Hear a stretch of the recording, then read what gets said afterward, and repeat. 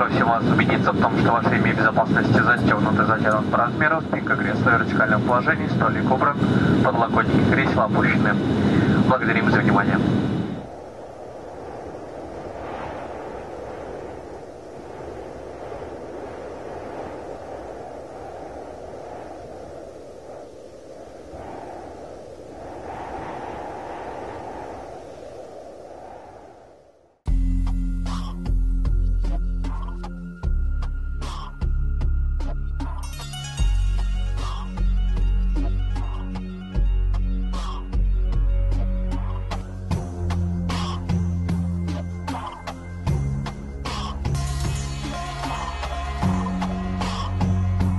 Однажды летом 2015 года я обнаружил себя в кресле самолета, который летел в одно удивительное место, о котором я два дня назад даже не думал, и тем более не собирался туда. Впереди был горный Алтай.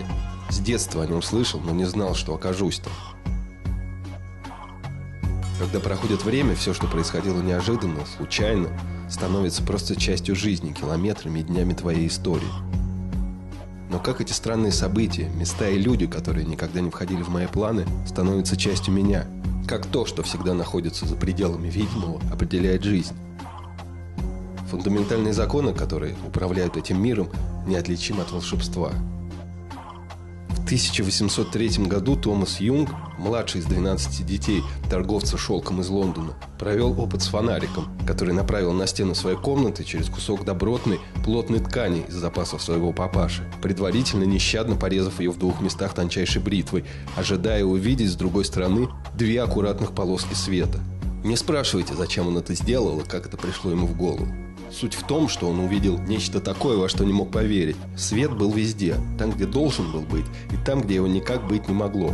Более ста лет никто не мог объяснить это, пока в 1922 году в институте Висконсин в США студент из Германии Вернер Гейзенберг не повторил этот опыт, поставив за непрозрачным экраном с двумя тонкими щелями датчик света, фотографическую пластину. На ней остались две точные засвеченные полосы, точно по форме отверстий. Но, как только он убрал пластину, свет, как и в случае Юнга, оказался везде, в виде бесконечного узора ровных полос по всему экрану. На его месте я, как и большинство людей, наверное, просто перестал бы это замечать или тихо съехал бы с катушек. Но Гейзенберг был гением. Он понял, что свет непостижимым образом чувствует, что за ним наблюдают, и ведет себя соответственно.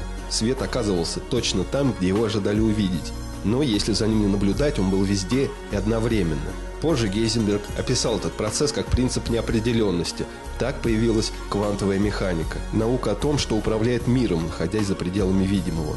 Наука неотличима от волшебства. Не просто понять мир с помощью фонарика и куска ткани, особенно если ты не Гейзенберг, но можно попробовать. Пусть вместо фотопластины камера, зато вместо ткани весь мир. Ну а вместо частиц света сами знаете кто. Это есть опыт. И этот фильм о нем –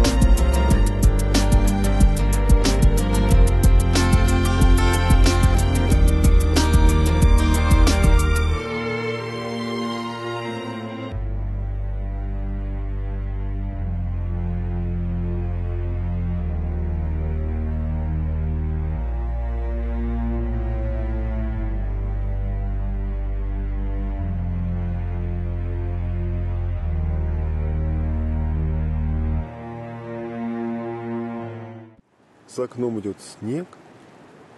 Ветер рушит палатку. Это Таня. Это Юля. Это фонарик.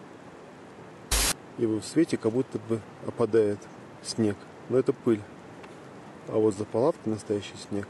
Целые сугробы. Вот такой вот 5 июля на Горном Алтае.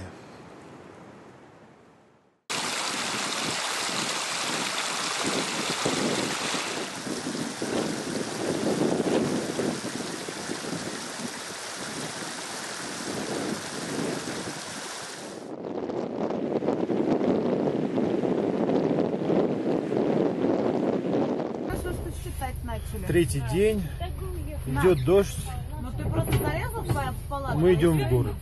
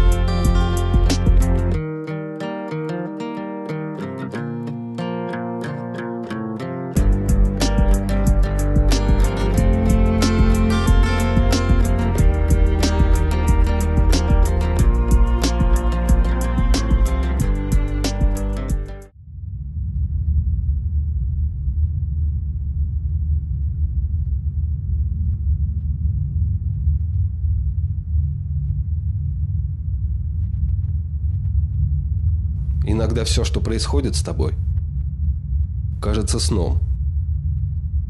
Но рано или поздно приходится проснуться.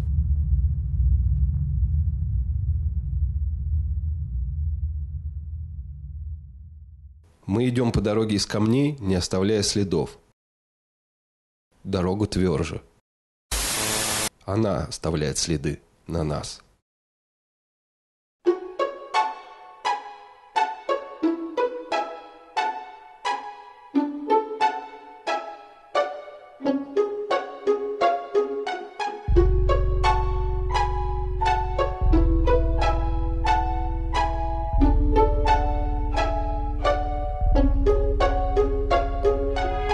People, do you understand me now? Sometimes I feel a little mad. Don't you know no one alive can always be an angel? When things go wrong, I seem a little sad. But I'm just a soul whose intentions are good. Oh Lord, please don't let me be misunderstood.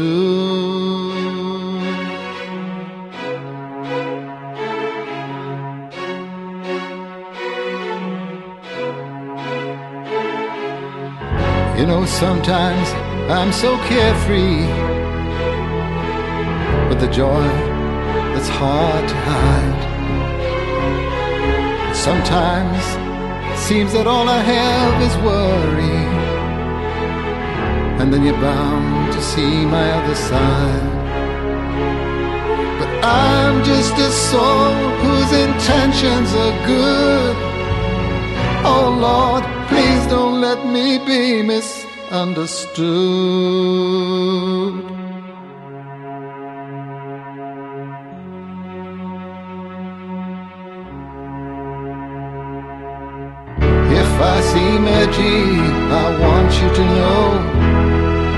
That I never mean to take it out on you. Life has its problems, and I get more than my share. But that's one thing I never mean to do.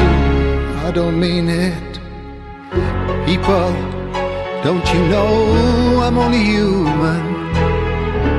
Don't you know I have thoughts like anyone? But Sometimes I find myself alone regretting some little thing, some foolish thing that I have done. But I'm just a soul whose intentions are good. Oh Lord, please don't let me be misunderstood. Don't let me be misunderstood. I'm just someone whose intentions are good. Don't let me be misunderstood. Don't let me be misunderstood.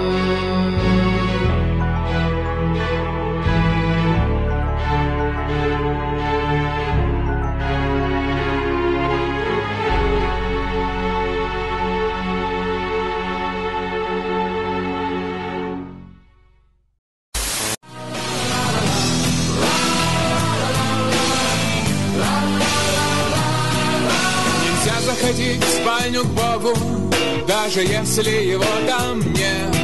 Нельзя заходить в спальню к Богу, за дверью большой секрет.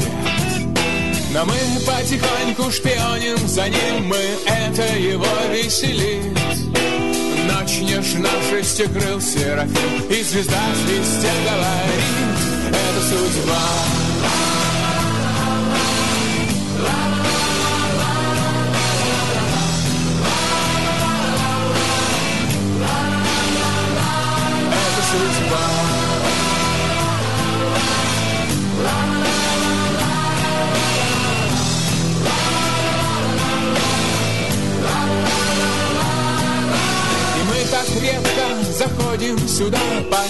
Погреться у млечных звезд. Тут из крана течет святая вода И микробы в ней держат пост. Но даже если звезды зажглись и стучит Копытом пегас Дороги, которые мы выбираем Не всегда выбирают нас Это судьба